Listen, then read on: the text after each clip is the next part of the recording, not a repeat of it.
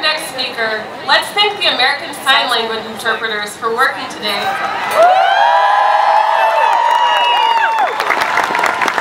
And I'm actually going to ask that we thank them the same way the deaf community does by putting our hands up and shaking them like this. Our next speaker, Alicia Wooten, earned her BS in Biomedical Sciences from Rochester Institute of Technology. Currently, she is pursuing her PhD in Molecular and Translational Medicine at Boston University. She is deaf and uses both American Sign Language and spoken English as modes of communication. She is heavily involved in the deaf community as an advocate and serves on the board of a local nonprofit, Deaf Inc. Her interests include lung biology and understanding how the immune system functions against pathogens. Alicia also cares about making science communication accessible to all minority groups and advocating for more minority groups, especially the deaf community, to pursue a career in science. Please, raise your arms in welcoming Alicia Wooten.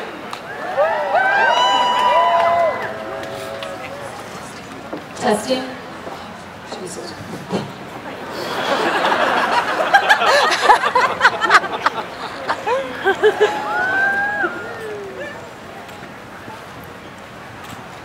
Hello, my name is Alicia Wooten, and I am a scientist.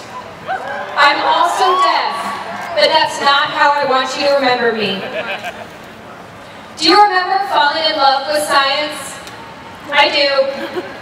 I didn't need to hear to see that mixing two chemicals in a beaker causes a chemical reaction. I didn't need to hear to see that the coral reefs are dying due to global warming. I didn't need to hear to understand how the heart pumps blood to the rest of the body or how the lungs provide oxygen.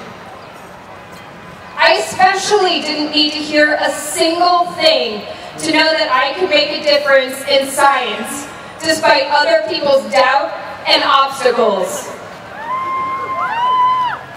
Yet those with hearing loss and other disabilities face serious challenges in the STEM field. I remember taking science courses and having to learn through a sign language interpreter with no science background. I remember joining a lab and missing out on the natural learning that occurs through daily discussions and interactions. Science is intersectional. Science is heterogeneous. Contributions from different people with different perspectives expand our thought processes and lead to amazing discoveries. Disabilities put additional stress on our daily lives that you might not even think about. When I meet a new group of people, I have to work harder to break the ice and to teach them how to communicate with me. When I walk into a room of people, I wonder if they will look at my experience and my ability before noticing my disability. When I talk with colleagues, I have to remind them to look at me when they speak. Talk one at a time and be patient. My work is specific and technical. I have to work hard to prepare my interpreters to make sure that they're ready. I need to make sure that the information is accessible before I can even think about mastering it. And I still have to find time for science. Before long, I'll be graduating from Boston University and looking for a job. And like others with disabilities, I have additional worries. Deaf people are four times more likely to be unemployed than a hearing person. Will the potential employer look at me and my credentials? Or will they get stuck on the cost of having to accommodate my disability? Will I have to work harder than my coworkers to get a raise or a promotion?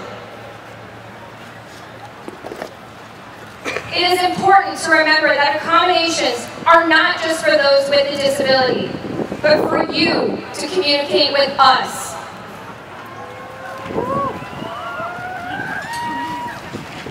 Without accessibility, communication is limited. There are so many things that can be done to accommodate people with disabilities. The first of which is the hardest. Give us a chance. I'm standing here today for those who never dreamed that they could succeed because of who they are. If anyone has told you that you can't make it, that you will fail, they are wrong. So wrong. For science, for science to advance, we need you. It doesn't matter what kind of disability you have or the color of your skin or your gender. It is about what you can bring to the table. And trust me, it's more than you think. You are more than you think.